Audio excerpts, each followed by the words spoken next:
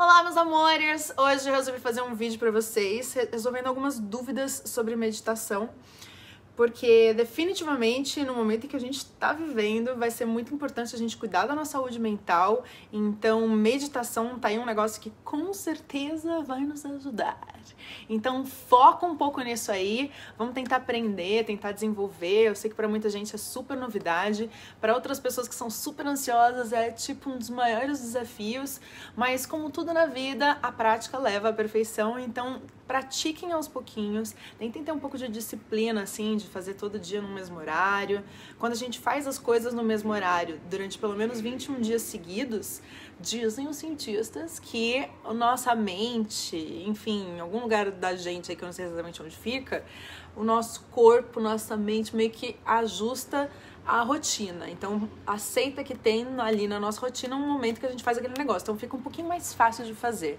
Outra coisa é que meditação é um negócio de foco, de atenção. Então, se você tem um, um pouco de dificuldade ali de, nossa, peraí, minha cabeça não para quieta, é, então quer dizer que você precisa bastante da meditação, primeiro. E segundo, que você precisa encontrar um momento do dia em que você tenha um pouco mais de facilidade de meditar. Muito importante esse primeiro ajuste, assim, essa sintonia. Porque quando a gente tá na nossa vida normal, né? A gente tá aqui, né, vibrando, tá, tá, tá, tá, tá, o cérebro tá pensando, tá, tá, tá, tá, você tá olhando um monte de coisa, aí ele absorve, joga essas informações para lá e para cá e tudo mais, muita coisa tá acontecendo. Quando a gente decide meditar, é tipo, tipo um carro que tá na quinta e de repente você passa pra primeira, saca? Calma lá. Não é assim, tem que dar uma reduzida na velocidade um pouquinho antes, com um pouquinho menos de amor e carinho. Então, quando você for decidir meditar, é, se você conseguir encontrar um horário em que você já esteja assim, né? Um pouquinho mais tranquilo. E primeiro fizer todo o exercício de respiração e ficar respirando profundamente aí um tempo. E sentir, assim, porque existem muitos áudios de meditação guiada, meus inclusive. Eu preciso interromper esse vídeo rapidinho, porque quando eu gravei esse vídeo, ainda não tinha lançado as minhas meditações dentro do Zen App, que é um aplicativo focado não só em meditações, mas em coisas zen em geral. Tem inclusive a Monja Coin falando sobre Zazen e o Cid Moreira contando historinha pra gente dormir. Fala sério, que coisa mais fofa. E agora tem meditações minhas. Tem meditações com afirmações, tem meditação sagrado feminino, uma meditação super rapidinha pra você fazer de manhã e umas com visualizações que são super loucas, tipo a Torre dos Sete Chakras. E vocês vão amar, eu tenho certeza. Se você encontrar o link lá no perfil, na bio do meu Instagram, você vai encontrar um link e vai ter sete dias de graça para você testar o aplicativo, ouvir as minhas meditações e ver se você curte. Também tem uma meditação de graça dentro do meu YouTube. Se você pesquisar Marimun, meditação guiada, você encontra. E é isso, vamos voltar para o vídeo. É, mas normalmente a meditação guiada ela vai servir muito mais no começo do seu processo de aprendizado de meditação, porque aí depois quando você se sentir um pouquinho mais seguro, entrar um pouquinho mais no clima da meditação e sentir que você tem já um pouco de conforto ali na meditação, aí você vai fazer sua meditação sozinho ou sozinha e você vai fazer as coisas do seu jeito. Então você vai sentir, tipo, ai, para mim cinco respirações profundas é o suficiente para eu já ficar tranquila. Ah, não, para mim eu preciso de uns 10 minutos só fazendo respiração. Acho que vai então de cada um as suas necessidades específicas. Fora que tem umas coisas que eu acho que enfim, cada meditação também vai propor uma ideia e, e às vezes vem com música, que eu não gosto pessoalmente, odeio a música, a música me leva para um outro lugar, eu começo a pensar na música, eu não sei, pessoas que trabalham com música acho que normalmente tem um pouco de rejeição, assim, quando tem uma trilha. É, eu prefiro sons da natureza ou silêncio completo. Só que às vezes o silêncio completo, ele não existe porque você tá num ambiente muito barulhento. Então, uma das coisas que me ajudou muito, especialmente no começo, era botar um fone de ouvido com sons da natureza que eu encontrava na internet, no YouTube, tipo, três horas de sons de praia na República Dominicana. Inclusive tenho colocado esse vídeo, especificamente esse, aqui na minha televisão de casa já que estou enclausurada, né? Aí eu ponho uma praia ali, eu me sinto praticamente na República Dominicana. Foi até um drink aqui, fico de biquíni, uma coisa maravilhosa. Mas enfim, acho que essa coisa de você se botar num, num ambiente em que você tem alguma memória ou relação é muito bom. Então, se você gosta muito de praia, se você ficar ouvindo o som de praia, vai te acalmar. Agora, se você, por exemplo, odeia praia, aí é melhor, tipo, um sonzinho de passarinho. Se você... Enfim, vocês entenderam, né, o que eu estou querendo dizer. Outra coisa que é muito importante para meditar é realmente você parar com isso aqui, ó. Sabe essa perninha nervosa? Isso aqui, ó. Isso aqui é muito comum nas pessoas da nossa geração que ficam no celularzinho. Então, é, o que que leva a gente a ficar com essa perninha nervosa? Esse negócio aqui. Várias coisas. É, tomar muito café, por exemplo, não fazer exercícios físicos, porque aí né, a energia fica aqui contida. É que nem a gente aprendeu, sabe com quem? Com César Milan, encantador de cachorros. Ele falava: se você não leva seu cachorrinho para correr, não é nem passear uma voltinha no quarteirão, tem que levar para correr. Ele vai ficar com aquela energia contida. E aí ele vai fazer o quê? Ficar enchendo o saco dentro de casa. Se você leva ele para correr, ele vai ficar tão cansado que ele vai ficar calminho. Isso também funciona com crianças e adultos. Então, pensa um pouco na sua rotina, um pouco nos seus hábitos e vê se você está fazendo coisas que te estimulam a ser uma pessoa tranquila ou uma pessoa muito agitada. Então, outra coisa que é um clássico da nossa geração é a quantidade de tempo que você passa no seu smartphone ou especificamente nas redes sociais. Que tem um negócio que é, você para pra pensar, cara, quantas informações é, eu estou vendo por segundo, por minuto, por hora, por dia tudo isso joga um estímulos no seu cérebro, né? Então, se você tá ali fazendo isso aqui, ó, quantas imagens você vê num dia? Quantos rostos você está vendo num dia? Quantas coisas o seu cérebrozinho, tudo bem, é um cérebro grande, muito maravilhoso, muito evoluído, que está aí há 5 milhões de anos em processo de evolução. Mas é, quantas coisas o seu cérebro tem que processar? Enquanto que se você, por exemplo, passa uma hora lendo um livro, olha que primeira marcha que você dá aqui. Você lê um livro, um negócio que, gente, ó, vou até mostrar um para quem ainda não lembra o que é um livro. Te apresento. Ó, tem palavras. É incrível, ensina várias coisas. Mas falando sério, você, quando você foca a sua atenção para ler um livro, você está fazendo só uma coisa durante um bom tempo. É, eu confesso que eu tenho dificuldade para ler eu tenho que pegar, tipo, um capítulo, ler ele um pedacinho, às vezes não é nem um capítulo, às vezes é um pedaço, assim, tipo, um pedaço desse, dois, aí eu leio, sei lá, duas páginas. E aí eu tenho que processar essa ideia. Então, porque senão eu fico na perninha nervosa. Então eu entendo justamente que vocês estão sentindo pessoas nervosas, eu também tenho um pouco de nervosismo. Eu também sou dessas pessoas. Eu também sou criado por esses malditos desses smartphones. Mas eles também são maravilhosos e conectam a gente e conectam a gente uns aos outros e a informações. Então tá tudo bem também. É só a gente aprender a usar de modo organizado e harmônico. Faz como tudo na vida, né? A gente tem que fazer tudo com um pouco mais de harmonia, equilíbrio e bem-estar. Então, acho que a gente se obrigar a ler, falando, não, beleza, eu vou ler tantos minutos por dia um livro, que pode ser Harry Potter, ou pode ser esse aqui, que é o uh, The Healer Within, que aí é bom que você já aproveita e treina um pouquinho de inglês.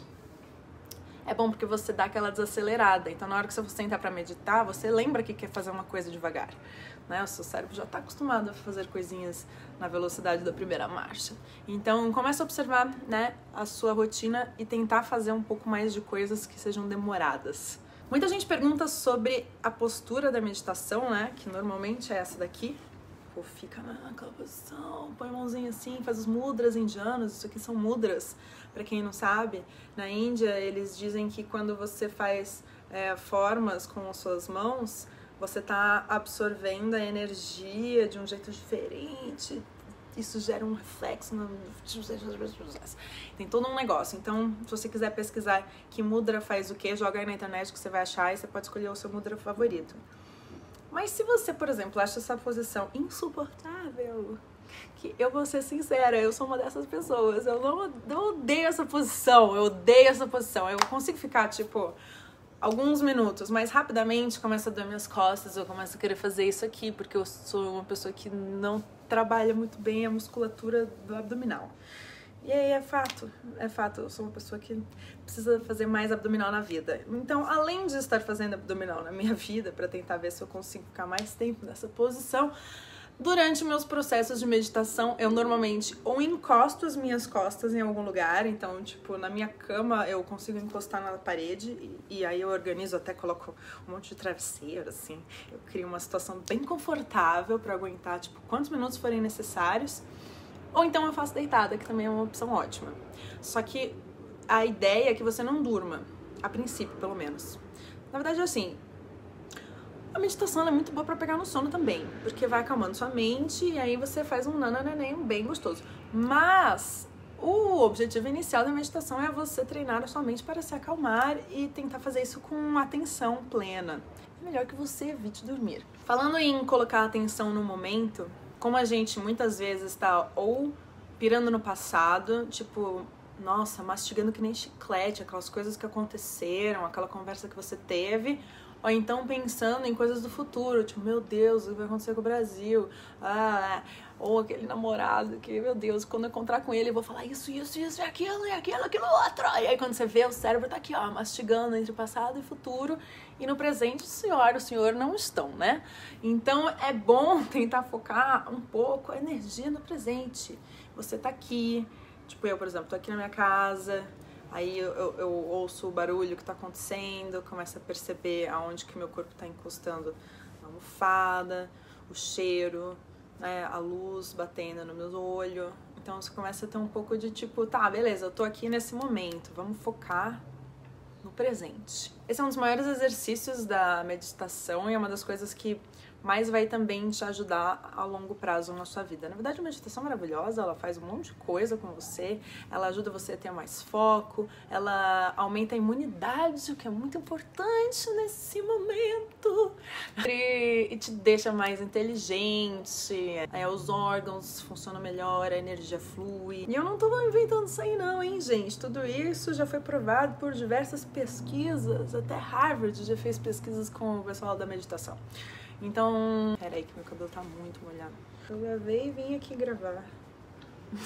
então vale a pena o esforço, vale a pena a insistência, vale a pena começar. A gente tá precisando disso nesse momento e, e ainda tem toda uma outra questão que eu deixei para falar no final, mas que é uma das coisas que para mim mais toca na meditação, apesar de eu não ter caído na meditação por causa disso. Eu vim parar na meditação porque eu estava muito deprimida. E a meditação definitivamente ajuda quem tá deprê, quem tem ansiedade. São duas coisas que eu tinha. Então a meditação, ela cuida do corpo, ela cuida da mente.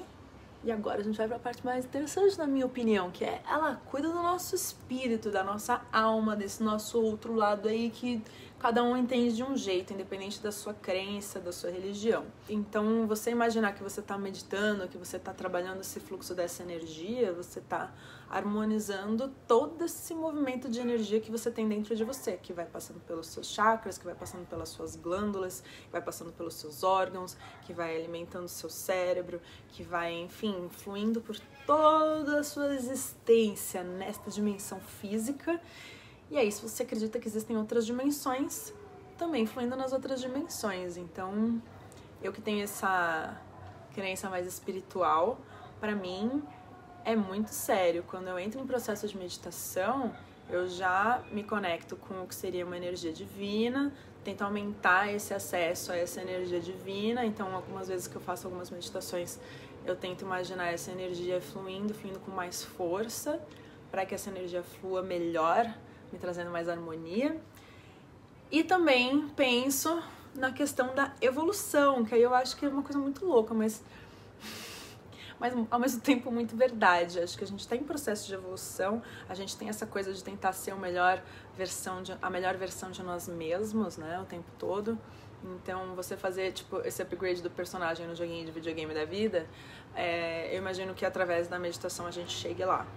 Então, para mim é essencial que a gente medite para poder fazer esse upgrade no nosso personagem no joguinho da vida.